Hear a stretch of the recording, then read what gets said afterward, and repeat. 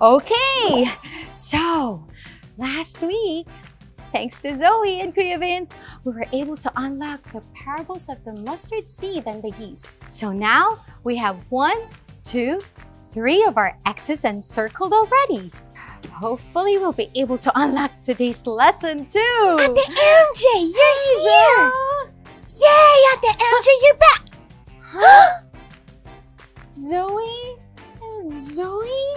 Who are you? I'm Zoe the elephant. Who are you? I'm Zoe the elephant. No, I'm Zoe the elephant. I'm Zoe the elephant. It's Wait, MJ. wait, wait, wait, you should do this. Wait! I think only the real Zoe can do her trumpeting signature sound. Can you do it? Um.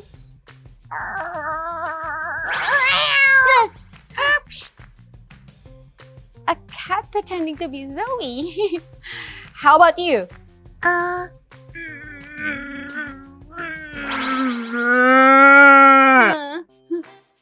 I knew it. Okay, can you do it? Sure, Ate MJ. wait, wait! I don't can think do so. this. I can do Zoe!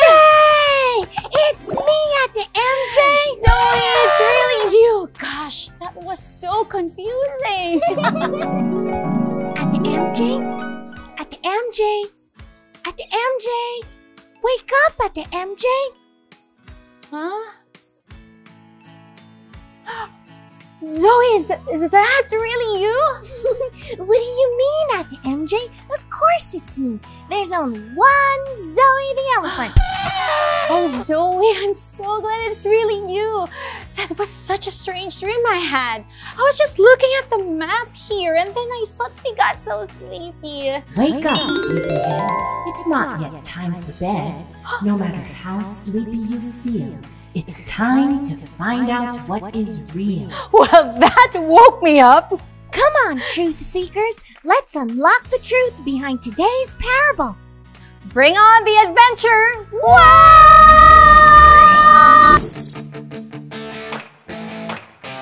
Next gen! Next gen!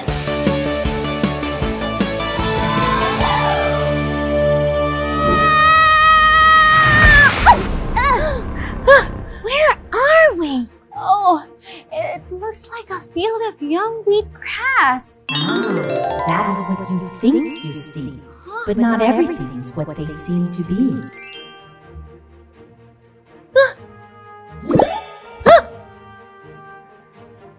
The parable of the wheat and the tares. Oh, so some of the grass we see here could actually be tares. Tares? Yes, tares, or some people today call them darnel.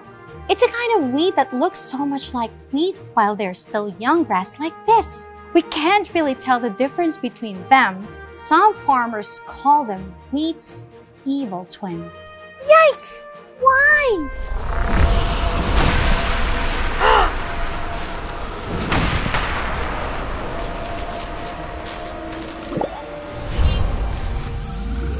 Poisonous plants. Oh, this book should have the answer to your question, Zoe.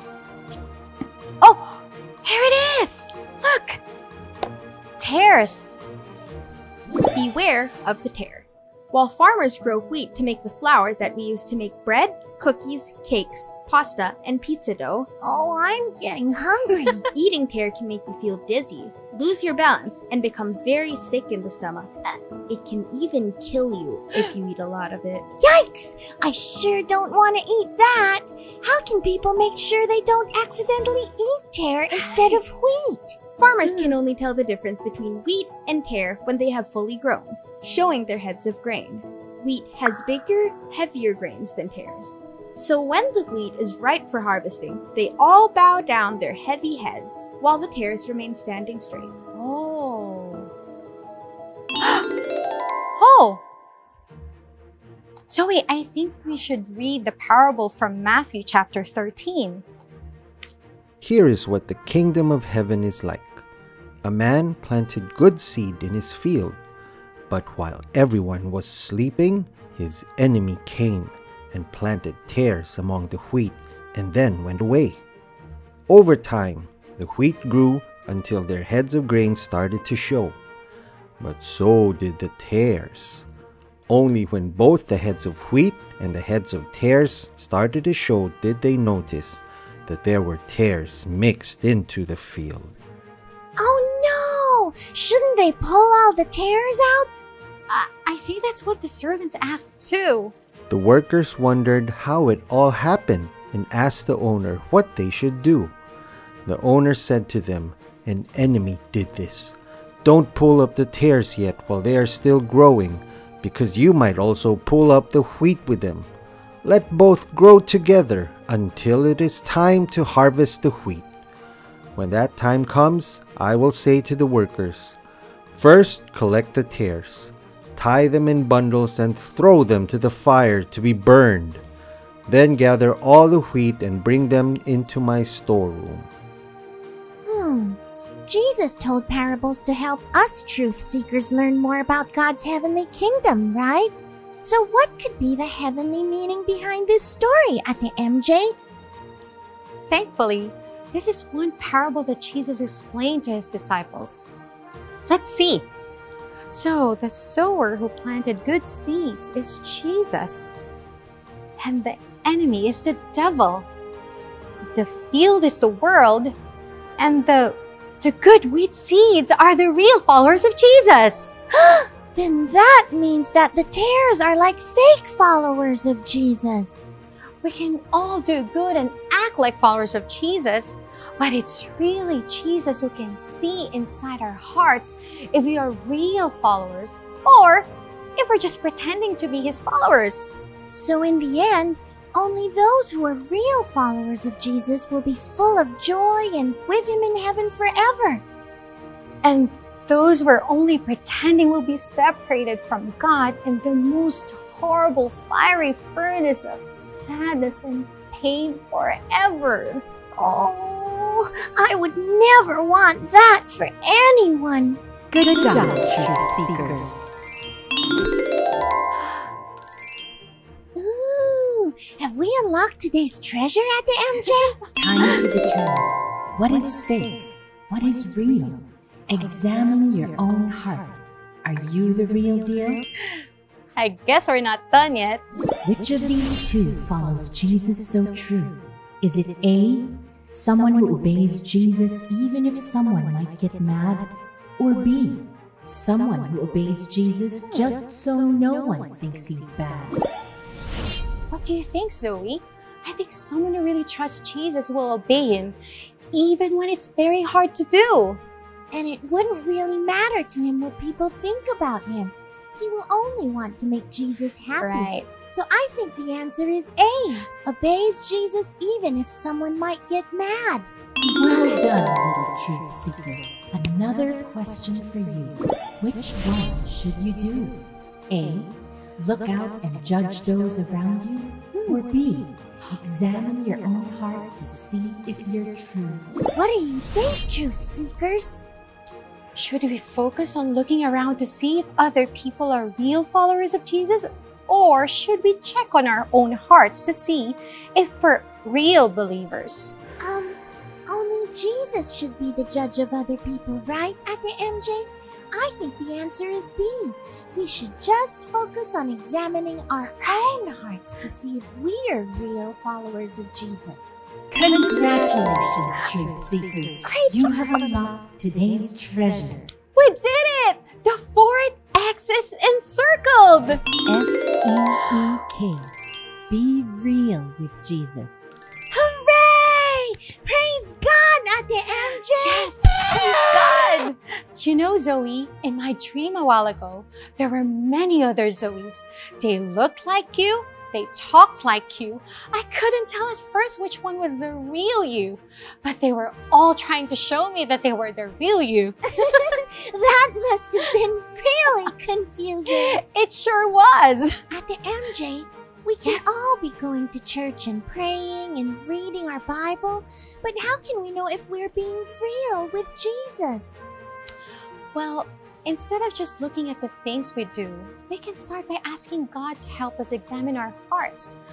What makes us real is if we bow down to Jesus like the wheat and trust Him to be the King of our hearts.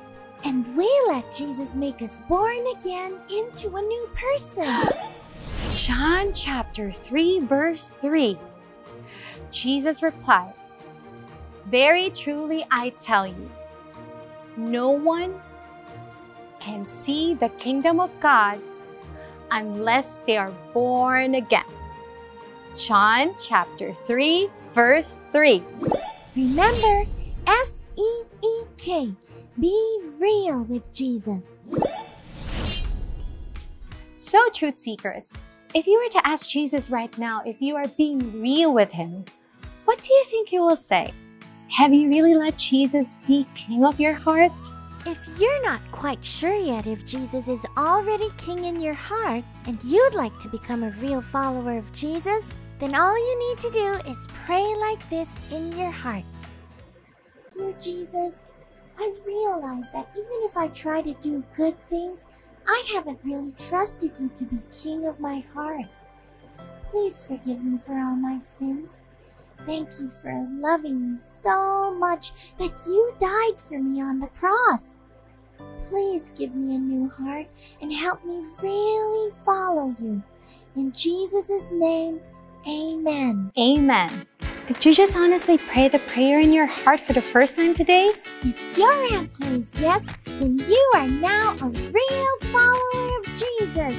Welcome to God's family. Keep on seeking and growing in Jesus by following S E E K. S. Set a time for God. Make sure you have time every day to talk and listen to Him. E.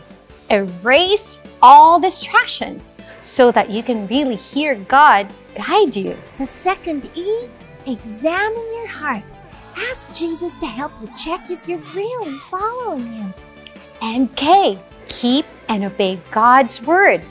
When we really trust Jesus, we will follow Him no matter what. Ate MJ, you've got a special guest joining you next week, right? Oh, you know who it is? Maybe. well, come back next week, Truth Seekers, for another adventure here in Next, Next Gen, Gen Live. Hey there, Truth Seekers! Deepen your understanding of God's truth by sharing with each other what you have learned today. Use the discussion question on your screen to help you. And feel free to ask your squad leader or parents about how you can keep on growing in Jesus. See you next week. Want to be part of a next gen small group via Zoom? If you are 7 to 12 years old, you can be part of an online squad or small group by registering on the link in the description or scanning this QR code. Hope to see you there!